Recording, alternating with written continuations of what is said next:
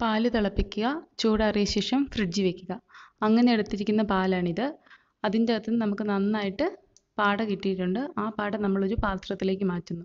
ഇങ്ങനെ ഓരോ ദിവസവും നമ്മളിങ്ങനെ കിട്ടുന്ന പാട എടുത്ത് ഫ്രീസ് ചെയ്ത് സൂക്ഷിക്കുക. ഒരാഴ്ച കളക്ട് ചെയ്ത പാലിന്റെ പാടയാണിത്. ഇത് ഞാൻ നാല് മണിക്കൂർ ഫ്രീസറിൽ നിന്നെടുത്ത് പുറത്ത് വെച്ചിട്ടുണ്ട്.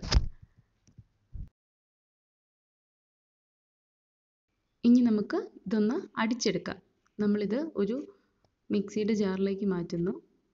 നമ്മൾ എത്രമാത്രം പാട എടുക്കുന്നുണ്ടോ അതിന്റെ മൂന്നിരട്ടി വെള്ളം എടുക്കണം. ഇനി നമുക്കിതൊന്ന് അടിച്ചെടുക്കാം. രണ്ട് മിനിറ്റ് അടിച്ചതിന് ശേഷം ഓപ്പൺ ചെയ്ത് നോക്കുക. കണ്ടോ നമുക്ക് ഇപ്പം നന്നായിട്ട് നെയ്യ് കൂടി കിട്ടിയിട്ടുണ്ട്. അത് നമ്മളൊരു വേറൊരു പാത്രത്തിലേക്ക് മാറ്റുക.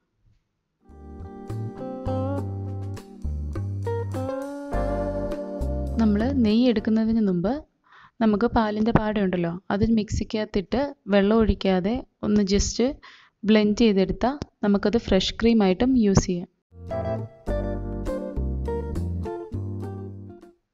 നെയ്യ് ഫുള്ളായിട്ട് അടിച്ചെടുത്തിട്ടുണ്ട്. ഇനി നമുക്കിത് സ്റ്റോർ ചെയ്യാൻ വേണ്ടി ഒന്ന് ഉരുക്കിയെടുക്കാം. അതിനായിട്ടൊരു പാത്രം വെക്കുക. അതിന്റെ അകത്തോട്ട് നമ്മൾ കിട്ടിയേക്കുന്ന ഈ നെയ്യ് ഇട്ട് കൊടുക്കുക.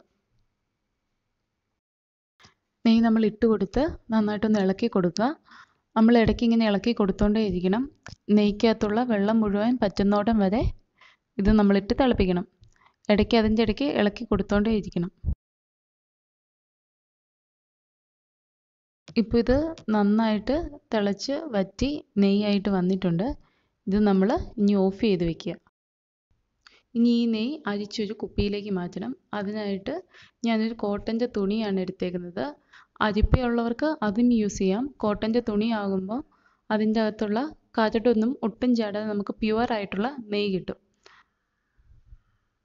ഇതിന്റെ അകത്ത് നമുക്ക് ഇത്രയും കരട് കിട്ടിയിട്ടുണ്ട്. അത് എടുത്ത് മാറ്റി നെയ്യ് അടച്ച് നല്ല ടൈറ്റായിട്ട് അടച്ച് സൂക്ഷിക്കുക.